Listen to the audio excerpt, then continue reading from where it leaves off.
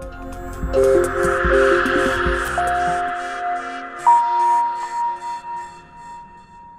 Тамара Федоренко, пересматривая фотографии своего отца, вспоминает его подвиги во времена Великой Отечественной и в активной жизни после войны. Разведчик, журналист и просто общественник Демьян Волобуев в своем родном поселке Таврия был человеком известным и уважаемым. Именно поэтому, когда возникла идея создания музея боевой славы при Доме культуры в Таврии, семья приняла решение передать медали и другие ценные вещи отца для экспозиции. Однако три года назад музей расформировали, и Тамара Демьян Демьяновна с ужасом узнала, что реликвии отца канули в воду.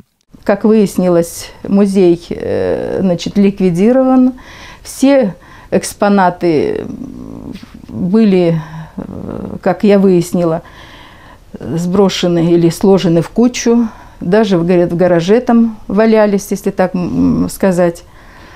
Ну и кое-что было э, работниками Таврической средней школы взято для музея, уже именно Таврической школы. Ну, а остальные экземпляры, и все, наверное, не знаю где, или утеряны, или, в общем, их местонахождение неизвестно. Тамара Демьяновна обратилась к директору предприятия «Дарын» Уланского района, попросив выяснить судьбу ценных вещей отца. Казенная отписка не заставила себя ждать. Экспонаты якобы передали в школу. Однако по факту там про ордена Демьяна Волобуева и не слышали. С кем я не разговаривала, все говорят, а куда? Я говорю, куда же они? Они говорят, ну продали, куда они дели.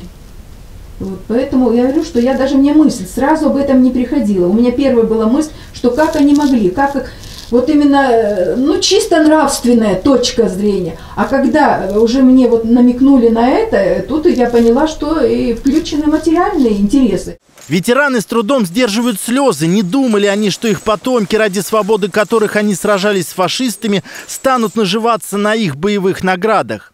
Я осуждаю уж кого-кого нашего Акима, Сатымбаева Екатерину, Александра, я очень осуждаю за то, что так плевательски отнестись к, к ну, собственно говоря, к участникам войны.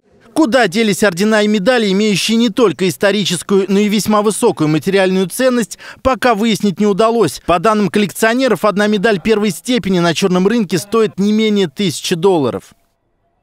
Как там не было, но все равно, которые награждались во время Отечественной войны, они все дорого. Простым коллекционерам их достать, людям это доставать то очень трудно. Это все делается нелегально.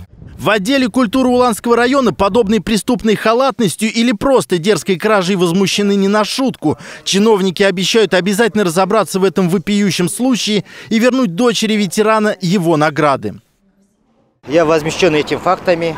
Э, мы со своей стороны будем вести свое расследование, разберемся в этом деле. Если виновные найдутся, конечно, мы их накажем.